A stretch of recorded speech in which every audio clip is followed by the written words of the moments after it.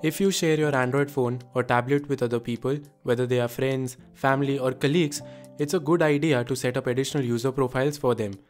If you have shared a Windows PC, then you may already be familiar with the concept here. Each user has their own login password, complete with their own apps, files, settings, wallpaper, etc. Many Android phones have a similar feature built in. Here's a step by step guide on how to create multi user accounts on Android. To set up multi users on an Android phone, you first need to enable the feature from settings.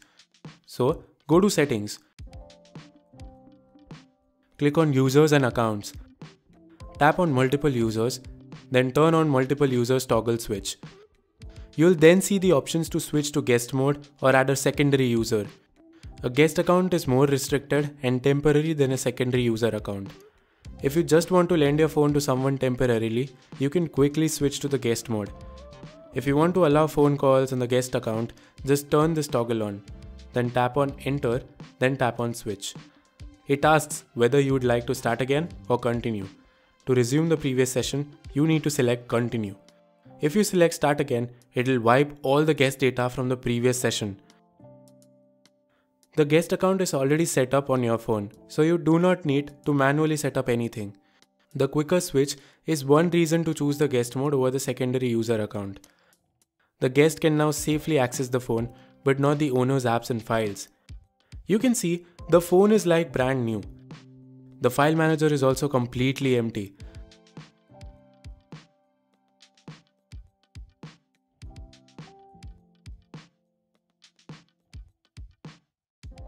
the guest can install their apps from the Play Store by signing in to their own Google account.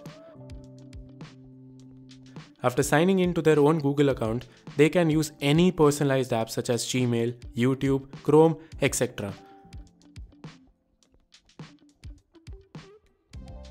You should know the guest account doesn't have the privilege to manage user accounts on the device. They cannot add or delete a user from the device. To quit the guest mode, simply select your main account and tap on switch. Or you can quickly switch between the accounts from the quick settings panel. After switching back, the guest cannot access your main account because it will require the lock screen password or pattern. The guest mode is useful when you need to give someone temporary access to your phone. But if you want to share the device with someone permanently, you should create a second user profile.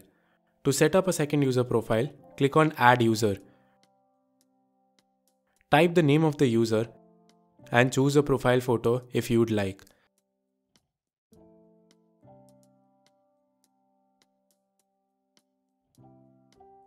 Now select the profile you just created. You can enable calls and messages for the user if you want and tap enter. It'll take you straight to the setup screen the setup process is the same as if you were setting a new Android device. Just follow the on-screen instructions to get it done.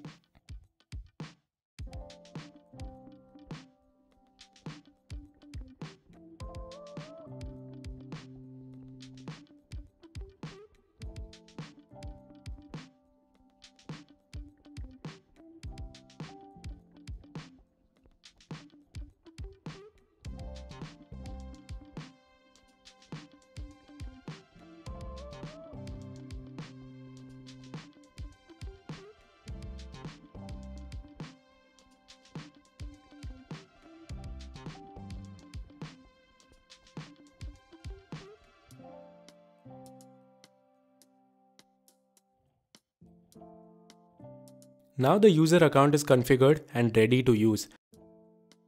All the phone settings are back to their default, from the built-in apps and the home screen wallpaper. It's almost like having a brand new device. The second user can now install any apps from the Play Store and use apps like Gmail, YouTube, Chrome, etc.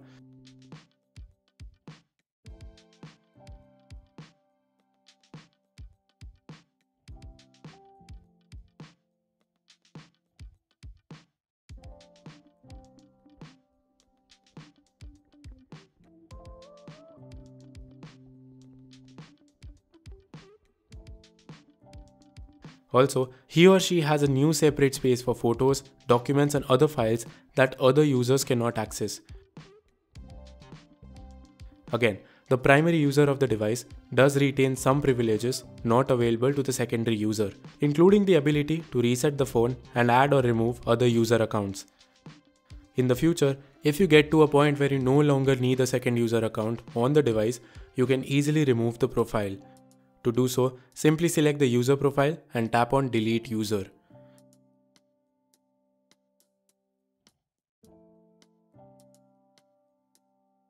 Guys, please remember that the multiple user feature is not available on all Android smartphones. Google's Pixel phones and OnePlus have had this feature for many years on their headsets. For Samsung, multi-users are still largely limited to the Galaxy tablets. Xiaomi or Redmi do not have the feature available on their smartphones or tablets. Other phone brands like Oppo, Vivo, Realme, Asus, etc. may or may not have this feature. Is the multi-user feature available on your Android phone or tablet? How do you use this feature? Share us your suggestions in the comments down below.